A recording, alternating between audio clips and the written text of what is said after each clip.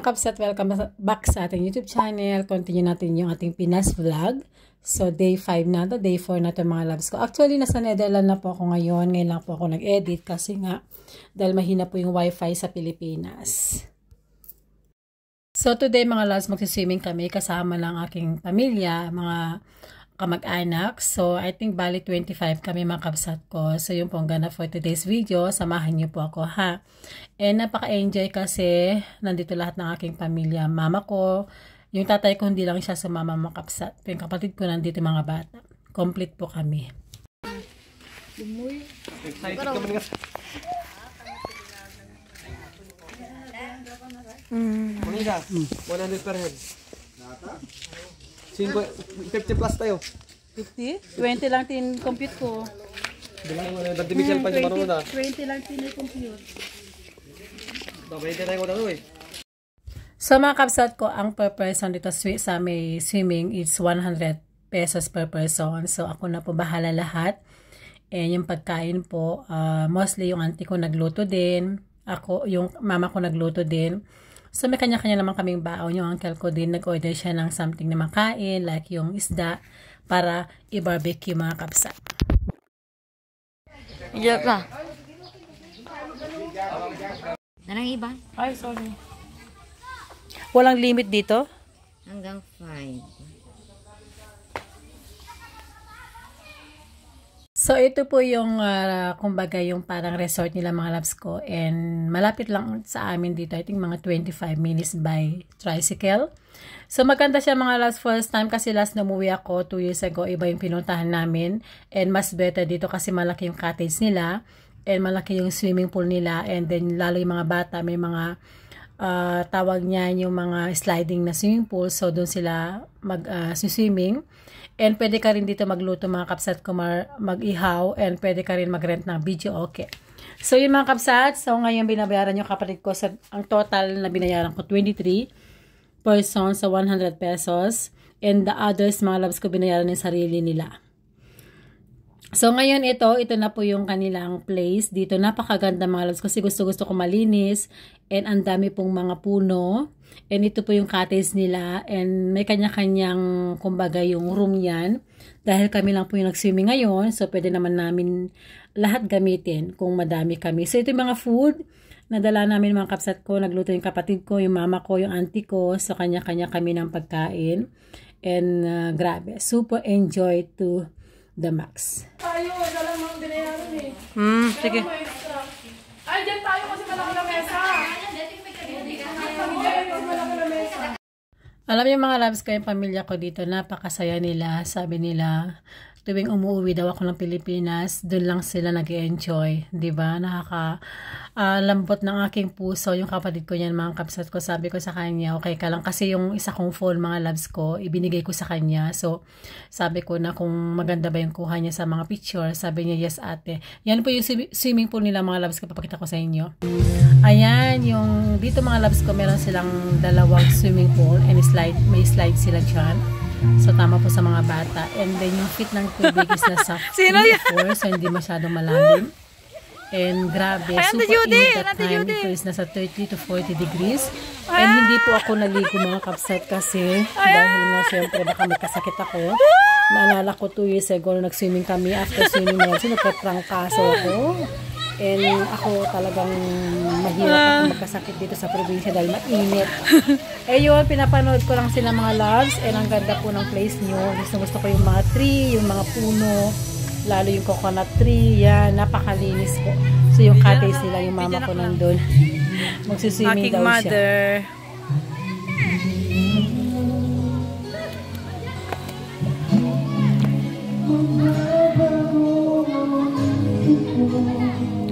Ayun, kumakanta na sila mga loves ko. Hindi ko na pa ipaparinig yung mga kakantahin nila kasi makaka-copyright ano tayo, makaka-copyright music po tayo.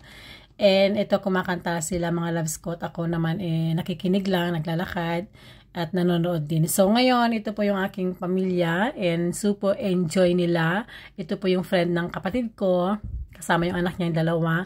Yun po yung uh, mother-in-law ng kapatid ko. Auntie ko ito naka-red kapatid ng papa ko. So, ito yung mga pamangking ko, yung uncle ko na sa dulo. So, mostly, is family po kami mga kapsat. Super enjoy that, that moment. Buti na lang nakapag-video ako para kung i-upload ko man to, lagi ko itong mapapanood, di ba? Kung naka, ano na, kung ah, sakali mamimiss ko sila mga kapsat ko. So, yun. And ngayon, ay ang gagawin po natin, dito lang po magvi-video tayo and pinapanood ko sila. And okay naman sa kanila na video ko sila mga kapsat kasi alam naman nila nagva-vlog ako.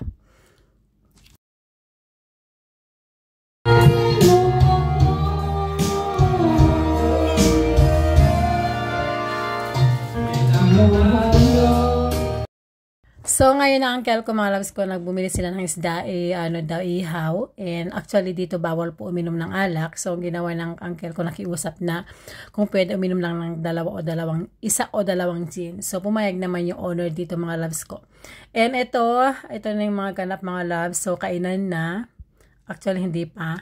So, nagsuswimming pa lang sila. Mga uncle ko kumakanta siya. Ayan po yung bunsong lalaki na kapatid ng papa ko. So, yun, pinapanood ko lang sila mga kapatid ko. Super enjoy. Sinado mo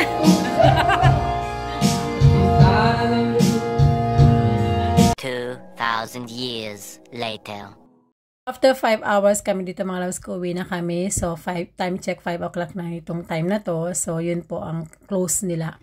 Tinapos talaga namin yung time mga loves para sulit, ba Para enjoy. So, ngayon, kanya-kanya po kami ng sa, uh, sakay mga loves ko. Meron akong kasariling tricycle. Yung aking uh, parang pamangkin may tricycle din siya. Eh, may iba may mga sariling motor din. So, okay lang. So, nagkasya naman kami sa lahat. So, yung ito po yung tricycle namin mga loves ko. Ito po yung pinundar ko 2018. So, maganda pa siya. At ginagamit pa ng aking brother-in-law para sa kanyang pamilya. Ito po yung mga friend, aunties na sumama. Ito yung kapatid ko na sa gilid. And then, yun, and yung auntie ko, nandiyan siya, yung asawa niyang kel ko. Yung ito po yung brother-in-law ko nagdadrive ng tricycle. Asawa ng kapatid ko na pang, nasunod sa akin. Mga pamangkin ko, ayan. So, super enjoy! Kaya na. Dapat sa kayak ta? Jai. Dapat sa kayak? Dapat pa sa kayak ta? Hindi, magkakatan. Hi!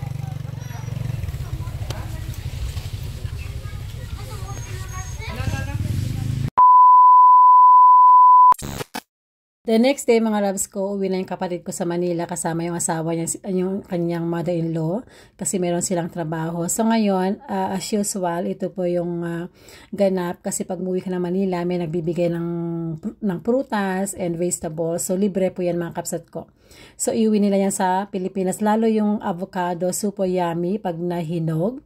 At mahal yan mga loves ko dito sa Netherlands. So yun, ang kanilang dala na pauwi ng Manila. So ako naman dito pa ako mag-stay ng 2 weeks. Balo balik ng Manila. So yan po yung mga dadalhin nila today mga kapsat ko. Ngayon sila babalik ng Manila. Anak ko, kapag yan ang pinyata reta. Uri mo naman pinyata panagtan, uri lima.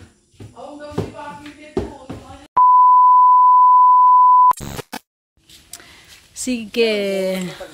Yan, sige na. Lamang kayo. Ikaw kayo sa babayin tayo. sa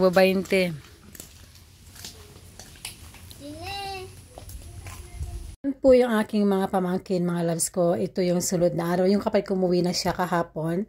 So dahil nga at walang magawa and naghihingi sila ng pera sa akin, sige, mag-ano kayo, magtanggal kayo ng damo sa labas, bibigyan kayo ng sakti 20 pesos. So yung pumayag sila mga kapsat ko. Yan po yung mga pamangkin ko.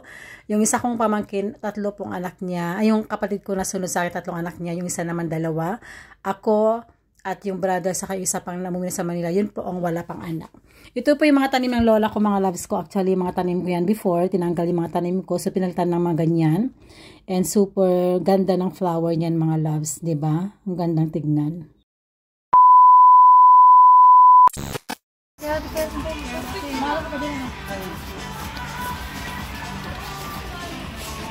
Yeah, may may may may atoy? May mayat? O yung mas malaki? Ah, so mga loves, nasa, nasa grocery store kami. Dito po ay stop 1 ang pangalan ng grocery nila. Bago daw to, ang may-ari is Chinese. And napakamura po ng mga product nila. Like itong hawak ko ito na wet tissue is nasa 2 pesos ata to. Mga loves ko, wala pang cents, mga 1, 2 cents lang euro. And yun, and then yung mga kapatid ko din na grocery sila. Sabi ko, sige, go, bili, ano, mamili kayo ng mga gusto nyo. At ayun nga, namimili sila mga loves ko. And then ako naman, ang sadya ko lang dito bumili ng shampoo and conditioner ang kailangan ko. Kasi dito sa probinsya mga loves ko is super init. Mostly nasa 30 to, 35 to 40 degrees. And uh, nafe-feel ko yung katawan ko super lagkit. So ang ginagawa ko pag lumalabas ako mga kapsat ko ay uh, parang alam mo yung wet ano wet uh, tissue na yan yung ginagamit ko sa katawan kasi super daming alikabok. And then, bumili ako ng conditioner na cream silk.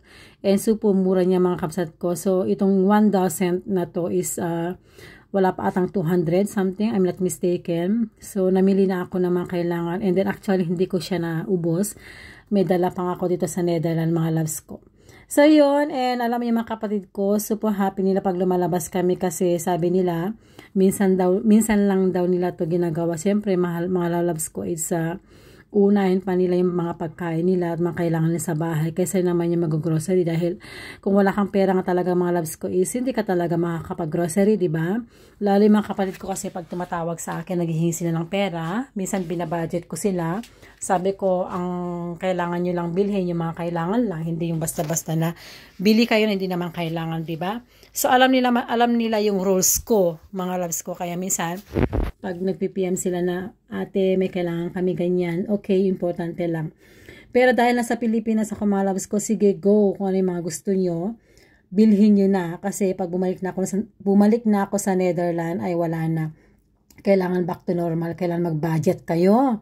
So magkastos dito sa Pilipinas mga loves ko, sa next last video ko is uh, sasabihin ko magkano nagastos ko lahat at uh, umabot ng malaking halaga talaga mga loves ko dahil meron nga akong pinagawa sa bahay.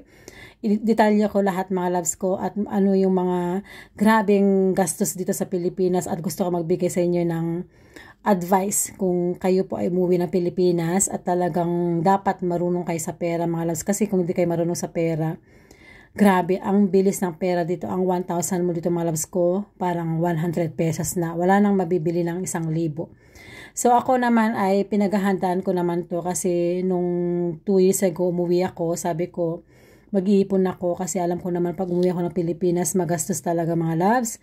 Hindi po basta-basta paglabas mo pera, pag ano mo pera, ganun syempre naawa naman ako sa kanila na dahil ngayon lang naman nila na-experience yung ganitong buhay, ba? So yun, and matagal kami dito sa grocery mga loves kasi may namit ako ng kabats ko dito. So, sabi ko, okay, so let's go na kasi ang tagal na tong video ko. So, yung mga loves ko, pasensya na po kayo at natagalan tong ating vlog for today's and continue po natin sa ating uh, Pinas vlog. So, hanggang dito lang muna aking video, okay? So, maraming salamat sa inyong lahat. At sana po, uh, pag nagustuhan nyo tong video na to, mag-like and mag-subscribe kayo and mag-share na din. And see you again sa ating uh, Pinay vlog. Pinas vlog, okay? Love you all. God bless. And then mag-ingat kay lagi. Bye!